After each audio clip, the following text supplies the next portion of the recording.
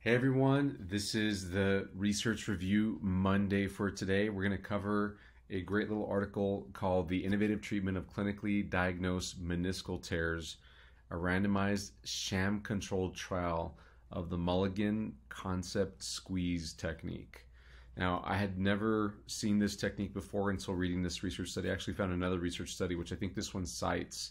It was done er, during the 2000s and um, so I learned about this new technique. And, and just to give you the, the quick overview of the study, this one was published in 2018 in the Journal of Manual and Manipulative Therapy.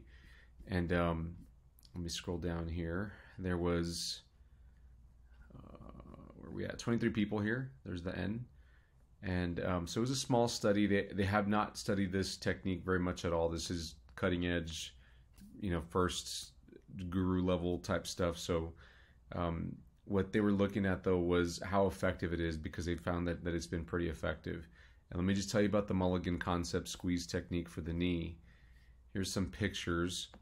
So there's the, the description of how they do it. They, they basically find a tender spot. Let me zoom in a bit here.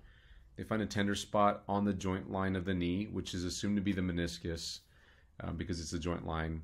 And then they go, they do a mobilization with movement. So the patient's in flexion here then they have the patient extend their knee as the therapist applies pressure thumb over thumb right there.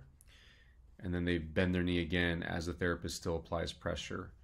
And then they can do it in standing too. There's a standing version, as you can see right here.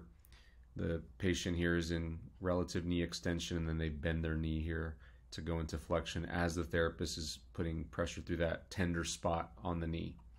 So the thought process that that I can deduce from here is that the meniscus is is shifted and the therapist is pushing it back in while the patient's moving.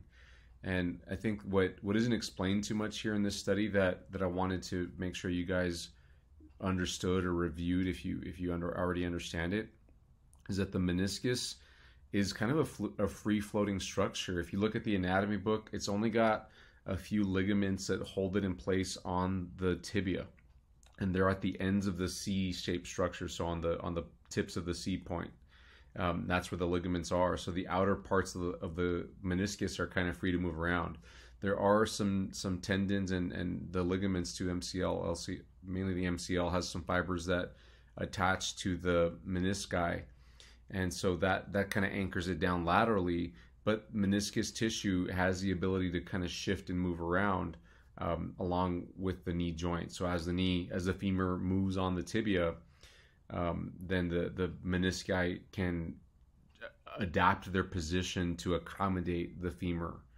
So this begs the question: knowing this, these these biomechanics of the meniscus, um, you know, can it shift out of place? And that's what this Mulligan concept technique is talking about. They're they're assuming that if somebody's got a meniscal injury or, or knee pain at the joint line and that it, they, they suspect it's a meniscus problem, that maybe that meniscus has shifted. Now, I've never seen this technique before. I do some version of this technique. Um, I do what's called the tibial shift, um, but I'm going to try this out. I think this is really cool and it might be um, uh, beneficial. I haven't directly put pressure on the meniscus. What I see is you can you can uh, tell a, a, the tibia can shift medially or laterally on the femur. So if this is your femur right here, here's your tibia, you can get this kind of a shift this way or this way. Usually I find that it shifts medially and you can use a manual therapy technique to literally shove the tibia lateral on the femur and it has amazing effects. I, we, we can get some people with coming in with some serious pain to have almost no pain um, instantly. Now it doesn't hold. They have to do exercises, of course, to to maintain the, the position of the of the tibia and the femur. Um, but I would assume it's the same thing here with this this um, Mulligan concept technique for the knee. Is it you, you probably shove that meniscus in, in place better, but there still needs to be some sort of exercise, some sort of training for the patient to do to to improve the mechanics overall on their menisci, on their their knee joint mechanics. So we have to look at the foot, still have to look at the hip, we have to look at muscle imbalances, relative strength all over the place. But I thought this was a cool technique. Now, the, the study showed that it, it had positive results, that overall everybody got better.